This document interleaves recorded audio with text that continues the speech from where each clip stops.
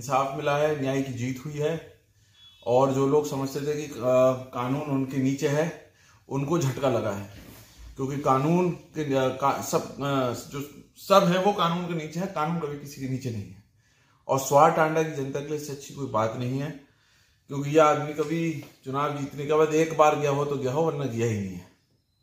और जहाँ तक मेरी बात है मेरी तैयारी जब मैं चुनाव हारा हूँ तब से चल रही है।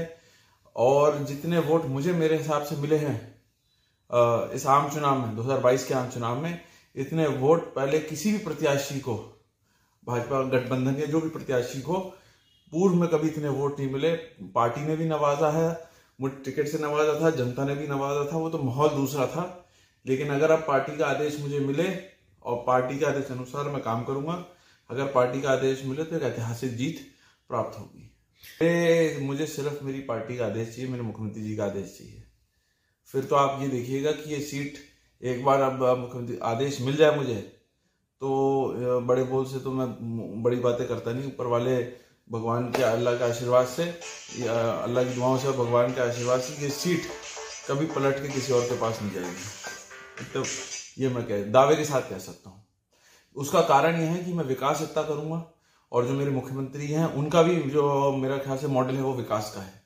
जितना वो रामपुर को देके गए पूर्व में किसी मुख्यमंत्री ने रामपुर को इतना नहीं दिया है। तो मैं तो मानता हूँ, पाँचों की पाँचों सीट योगी जी की झोले में जानी चाहिए।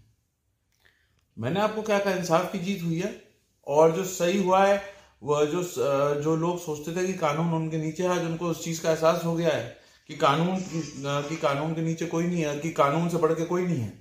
और जो हुआ है, वो सही हुआ है। अभी तो देखिए जन्म प्रमाण पत्र का भी रह गया है यूनिवर्सिटी का भी पूरा प्रकरण रह गया है।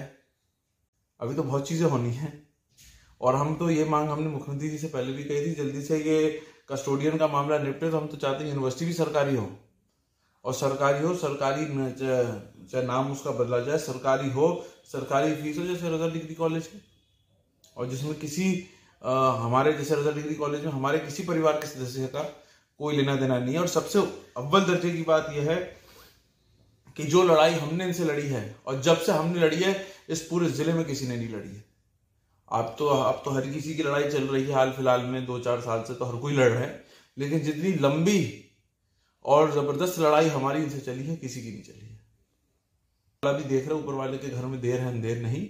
और मुझे मेरी पार्टी के ऊपर भरोसा है और विश्वास है, और मैं जो भी मेरी पार्टी, मुझे आदेश